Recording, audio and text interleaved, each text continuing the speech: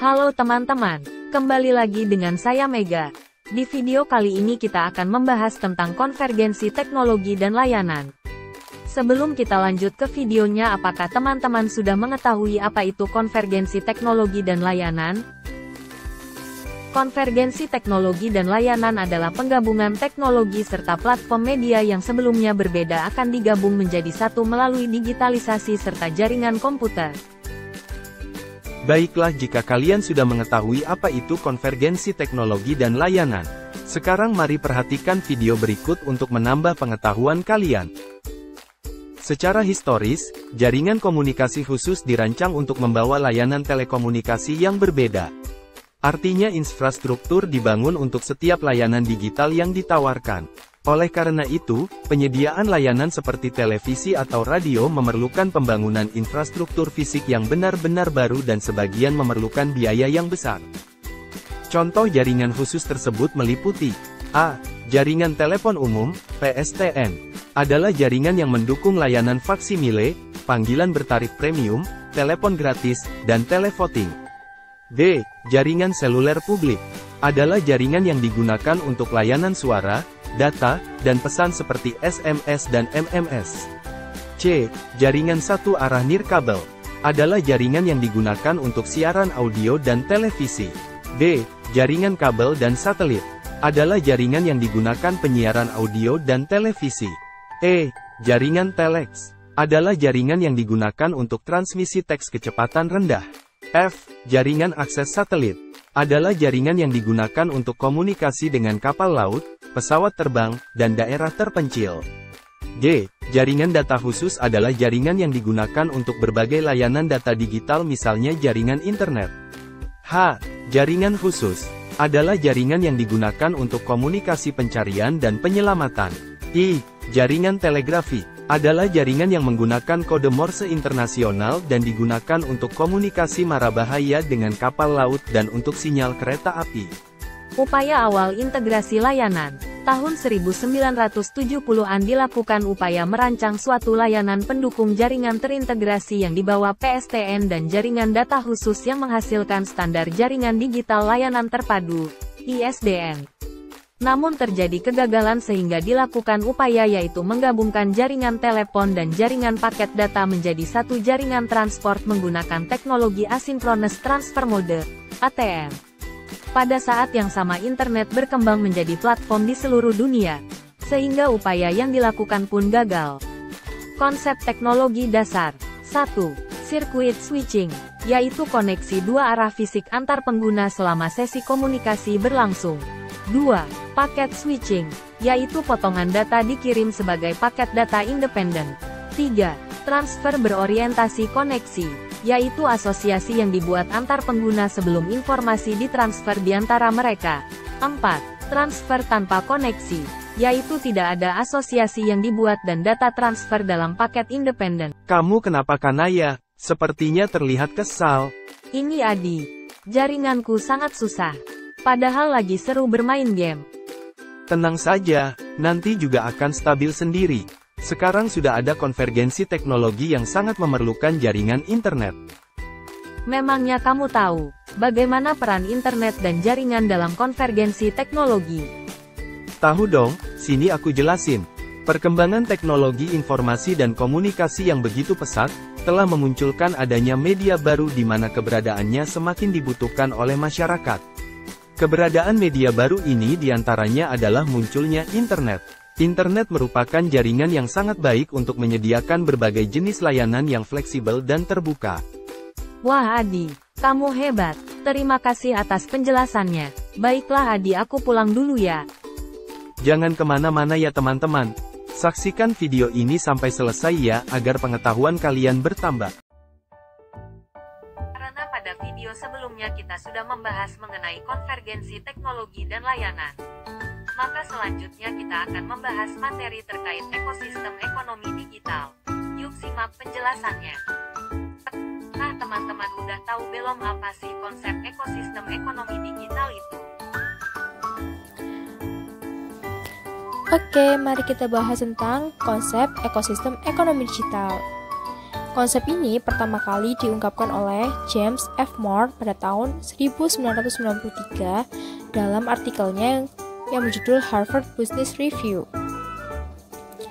Nah, dalam artikel tersebut, James mengungkapkan bahwa untuk memperluas pendekatan sistematis terhadap strategi, saya menyarankan agar perusahaan dilihat bukan sebagai anggota dari satu industri, tetapi sebagai bagian dari ekosistem bisnis yang melintasi berbagai industri.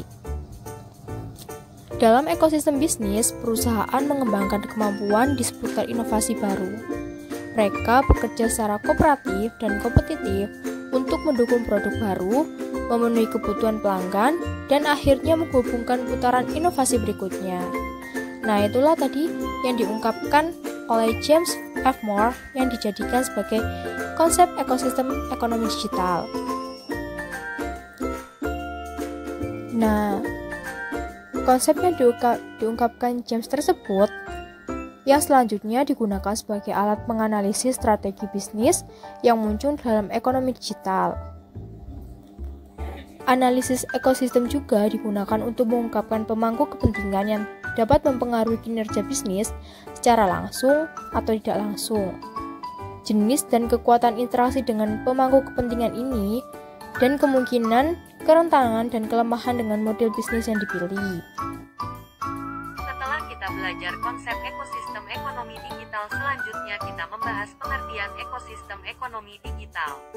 Dan apa sebenarnya sih pengertian ekosistem digital itu?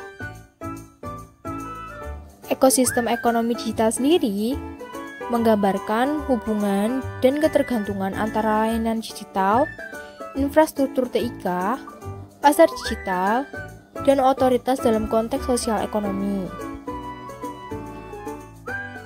Interaksi dalam ekosistem bisnis terdiri dari pengusaha, peneliti, dan pengembang penyedia platform perangkat lunak dan perangkat keras.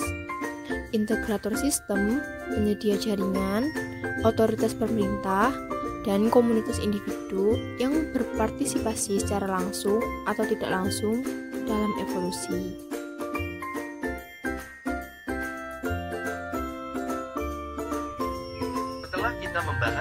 Konsep dan pengertian ekosistem ekonomi digital, maka kali ini kita akan membahas bagaimana bentuk diagram komponen ekosistem. Nah, inilah bentuk dari diagram ekosistem. Selanjutnya, diagram tersebut menggambarkan ekosistem ekonomi digital dan beberapa teknologi dasar dan pemangku kepentingan yang menjadi sandarannya.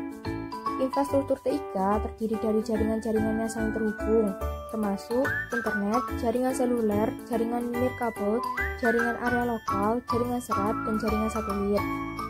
Ini juga mencakup penyimpanan data fasilitas komputasi. Infrastruktur TIK dapat diakses oleh berbagai jenis peralatan pengguna perangkat seperti ponsel smartphone, PC, laptop, dan terminal lainnya. Sebuah layanan digital biasanya bergantung pada penyedia layanan digital TIK dan penyedia fungsi dukungan perangkat keras dan perangkat lunak lainnya untuk menyediakan nilai bagi konsumen. Kompleksitas dan ketergantungan dalam ekosistem ekonomi digital menghasilkan pasar yang tidak pernah sama dari hari ke hari. Yang pertama, perubahan seperti pemangku kepentingan baru masuk di pasar. Kedua, pengembangan teknologi baru. Ketiga, variasi dalam adopsi konsumen dan arena persaingan berubah. Keempat, undang-undang dan peraturan pasar baru. Dan yang terakhir, ketergantungan yang berfluktuasi di antara para pemangku kepentingan yang semuanya berkontribusi pada keadaan pasar yang lebih bersifat sementara daripada stasioner. Bicara tentang ekosistem, tentunya dalam sebuah ekosistem terdapat beberapa komponen penyusun di dalamnya. Apa saja komponen ekosistem digital itu? Dalam ekosistem ekonomi digital terdapat lima komponen. Yang pertama, internet. Yang kedua, infrastruktur dan platform komputer. Yang ketiga, aplikasi. Yang keempat, konsumen. Dan yang terakhir adalah otoritas.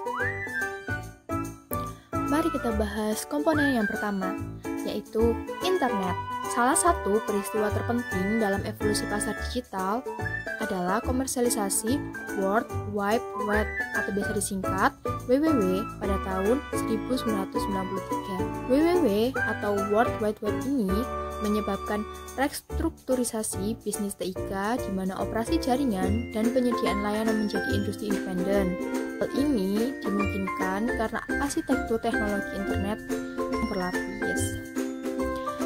Nah, internet berlapis sendiri terbagi menjadi tiga bidang paralel. Yang pertama, jaringan. Dalam jaringan sendiri terdapat grafik yang kemudian melambangkan jaringan fisik yang mendukung bisnis penyedia jaringan atau NT dan penyedia layanan internet atau ISP. Sebenarnya inilah yang didefinisikan sebagai internet. Yang kedua, yaitu peralatan pengguna. Bidang peralatan pengguna adalah domain bisnis penyedia perangkat. Yang terakhir yaitu aplikasi. Aplikasi adalah arena bisnis penyedia layanan aplikasi atau ASP dan penyedia konten atau CP yang di mana meliputi penyediaan layanan, informasi, manajemen, sistem, dan penginderaan jauh dan kendali. Selanjutnya kita akan bahas komponen yang kedua, yaitu infrastruktur dan platform komputer. Platform sebagai sebuah komponen dalam ekosistem ekonomi digital dapat terdiri dari satu komputer atau menjadi sistem terdistribusi dari komputer yang saling berhubungan. Arsitektur platform keseluruhan mungkin sangat kompleks dan melibatkan beberapa pemangku kepentingan yang harus bekerja sama untuk menyediakan layanan yang ditawarkan kepada konsumen. Komputasi awan merupakan platform yang paling umum yang di mana menawarkan layanan mulai dari dukungan infrastruktur murni hingga paket perangkat lunak lengkap dan kombinasi keduanya. Komponen ekosistem ekonomi digital yang ketiga yaitu aplikasi dan konten.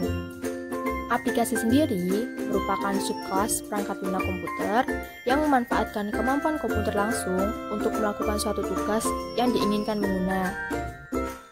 Menurut data statik pada akhir tahun 2020, jumlah aplikasi yang tersedia saat ini di Google Play Store dan Apple App Store sekitar 3 juta dan 3,4 juta. Beberapa, produk digital tersebut diproduksi dan dijual oleh satu ASP dan hanya melibatkan ISP untuk mengirimkan informasi ke pelanggan perusahaan terbesar dalam bisnis digital, misalnya Facebook, Twitter, YouTube, dan Google. Selanjutnya yaitu komponen yang keempat adalah konsumen. Konsumen di pasar digital memainkan peran penting dalam ekonomi digital. Selain sebagai konsumen barang digital, juga berperan sebagai sumber umpan balik bagi desainer dan penyedia barang yang dapat digunakan untuk meningkatkan kualitas produk. Konsumen penyedia layanan digital dapat berubah perusahaan, organisasi, atau individu. Adopsi konsumen atau adopsi pengguna terhadap teknologi informasi dan komunikasi serta layanan digital merupakan elemen kunci untuk memahami terciptanya ketergantungan dalam ekosistem ekonomi digital. Komponen ekosistem ekonomi digital yang terakhir yaitu otoritas. Ekosistem ekonomi digital juga terdiri dari aspek sosial dan hukum mengenai kondisi pemasaran dan penggunaan layanan digital termasuk bagaimana teknologi dan layanan digital diatur oleh pemerintah.